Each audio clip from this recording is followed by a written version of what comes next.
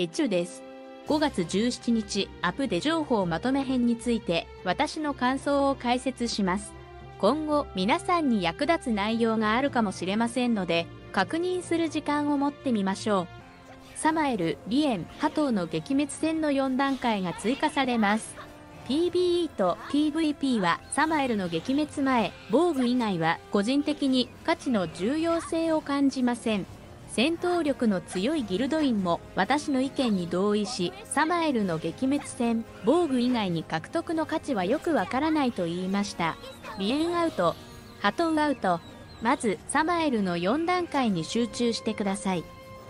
1.5周年を記念したスペシャルログインボーナスを開催します。ログイン報酬初日は SSR グランウェポンボックス1個を獲得できます。そして14日目の最後の日は SSR 天使グランウェポンボックス1個を獲得できることで初心者に役立つでしょう。紋章刻印記念のイベント実績です。実績を達成すると実績イベント実績メニューから報酬を獲得できます。韓国でも同じイベントが実装され、各種ミッションにはガチャ召喚、AP 消費、ゴールド消費、ダイヤ消費、イベント実績達成などがあります。報酬は異なる場合がありますので、詳しくはゲームにログインしてご確認ください。星の響きはアイテムを使用してダンジョンを作成し、パーティーで挑むコンテンツです。星の響き、祝福はショップより獲得可能です。韓国は無料で2つの購入が可能だから日本も同様に適用されると思われます。星の響き、祝福追加購入の場合、段階別に消費が適用され、購入意向があれば、最低1段階までおすすめします。韓国のショップで新規の小星を消費し、様々なアイテムと交換することができます。SSR 装飾品の製作に必要な素材があります。日本のショップにも同じように構成されていると思います。各種コンテンツからベル教授の研究資料を獲得し、報酬と交換できるイベントです。韓国の場合、4000個のベル教授の研究資料を通じて、SSR 古代天使グランウェポンボックスを1個交換できます。日本も同じように適用されなかっただろうか、と思います。韓国基準2022年3月に開催したイベントで2023年5月に新学期ストイベ復刻開催です。前回新学期ストーリーイベントに参加して獲得した報酬やステージの攻略状態は全て初期化され最初からご利用いただけます。過去にイベントにて獲得した札も全て初期化された状態でイベントが開始します。もう一度様々な報酬を獲得するために出発しましょう。見心の潜在能力で獲得可能なシールドパッシブ効果が改善されます。効果クールタイムが2秒短縮された6秒で頻繁なシールド生成の機会ができました。そしてシールドの持続時間も改善されることでスキルのクールタイム時間の間に消えることに対する心配を大きくしなくてもいいです。最も懸念される問題は持続時間の間シールド効果がモンスターまたはプレイヤーからスキルによってシールド効果がなくなることが問題です。見心グランウェポンの追加効果を使用するまでシールド効果を持続できれば PVP の見心は信じられないほど強力です。しかし現在韓国の見心 PVP 活躍は肯定的な雰囲気です。まだ上位ランクの多くのユーザーがミココロを活用しようとしています。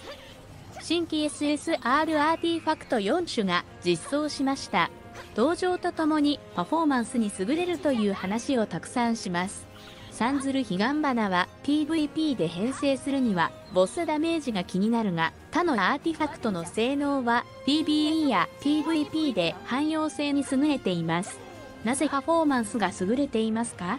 PBE 基準として空の守護者、皆無の夜、白トゲの聖女、雷神バルバトスが一般的な上位編成のアーティファクトです。ところが、新規 SSR アーティファクトの貫突性能と全体的に比較してみると、新規 SSR アーティファクトが攻撃力は2%低いが、総ダメージ増加に関連して20%が従来の編成のアーティファクトより高いクリティカルダメージ性能は同じで新規 SSR アーティファクトが防御無視性能が白トゲの正常より5%若干高いです。超越降臨、剣攻略基準でクリティカル150%維持が難しくないと全体的なダメージの観点から新しい SSR アーティファクトが相性のボス攻略または虹の属性のボス攻略に有利であることを示しています。しかし確率アップの4体だから獲得するためには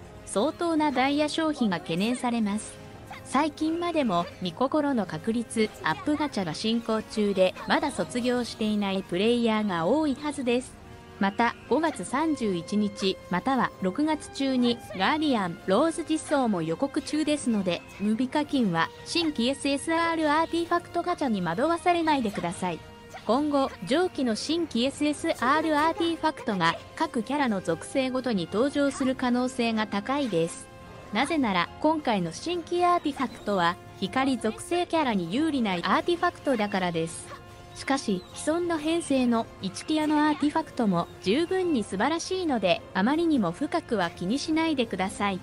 ミココロのアーティファクト確率アップガチャイベントです。性能は優秀であることが判明したが、獲得に関して現在の優先順位ではない。無備課金は上記ガチャについて気にする必要はありません。深刻なダイヤ消費が懸念されます。ダイヤを保存してください。天使アザエルとルシエル復刻。アザエルとルシエルも復刻ですが、新規初心者もガチャを引く必要はありません。最近、天使ボックスをイベントとして提供してくれており、今後もイベント報酬として獲得する可能性が高いです。今は天使アザエルとルシエルの復刻のガチャ参加より、見心または今後のガーディアン、ローズに集中する時です。新学期のチリアとシニー復刻です。5段階超越をしなかったら、文章刻印の条件を卒業するためには引っ張る必要があるかもしれません。だが、昨年にある程度確保したユーザーなら、ガチャを引くのではなく、ストイベショップの極超越素材とストイベボックスを通じて獲得の機会を持ってみてください。最近始めた初心者がチリアとシニーの両方がない場合、